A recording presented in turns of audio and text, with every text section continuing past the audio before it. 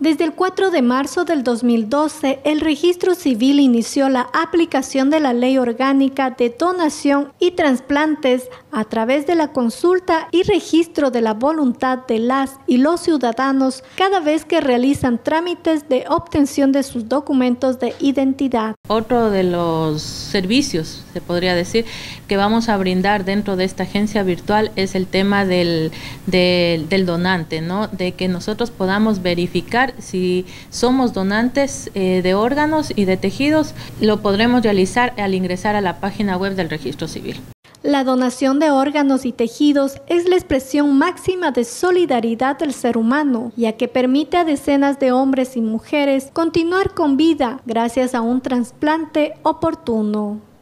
Sí, de hecho se podrán, se van a poder registrar en esta, en esta página y asimismo podrán eh, consultar su condición, ¿no?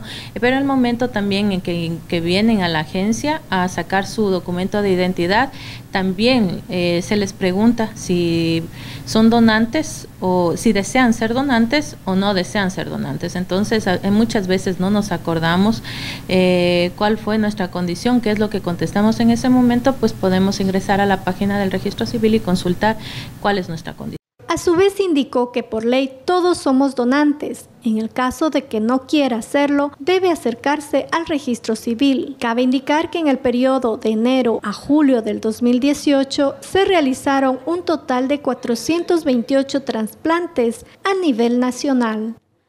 Ali TV, la televisión pública de Napo.